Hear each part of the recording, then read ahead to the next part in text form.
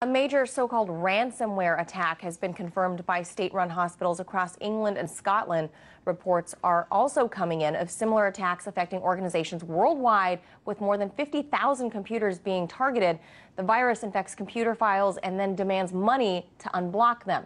London correspondent Daniel Hawkins has the details. This attack has taken place as medics celebrate International Nurses Day, so maybe some sort of twisted irony here behind the timing of this hack. And secondly, the sheer scale of this is almost unprecedented. Apart from the uh, many NHS trusts and hospitals across the UK which have been paralysed by this incident, uh, this uh, attack has now gone global. We're hearing countries as far afield as Spain, Italy, uh, Russia, Vietnam, even Kazakhstan and Taiwan have been reporting similar problems. Uh, hospitals and GP surg surgeries across the United Kingdom in the north, the southeast, uh, London have reported these difficulties. They've had their phone equipment, their patient records, even their x-ray equipment affected by this. As a result, they've been forced to cancel uh, routine patient appointments and tell everybody to stay at home except the most urgent emergency cases. Uh, ambulances here have been diverted to other hospitals, putting uh, services already at strain uh, under even uh, bigger uh, strain, so to speak.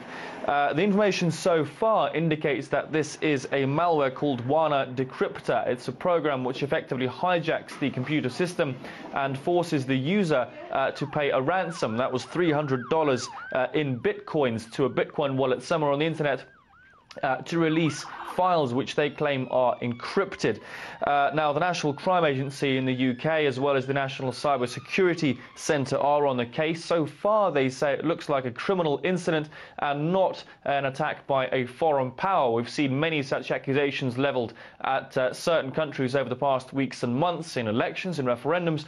Uh, you could be forgiven uh, for thinking this time it's a similar case, but they have confirmed uh, they are not looking at that. They are looking purely at a criminal case here. Now, analysts have been looking why the NHS may have been targeted or partly targeted. Uh, it's because of the sheer amount of sensitive uh, data and information stored on NHS computers, medical records, national insurance numbers, payment details, and uh, hackers who perceive the system to be vulnerable uh, may have made a, an effort to target them. Now, the big question, of course, for many people, has patient data been compromised? Uh, so far, NHS sources no evidence say that no, there is no evidence that patient data uh, has been leaked or released as a result of the attack. Nonetheless, this is very much an ongoing situation. It's been escalating throughout the afternoon and early evening here in the UK and globally, and we'll, of course, bring you more uh, on that as information comes in.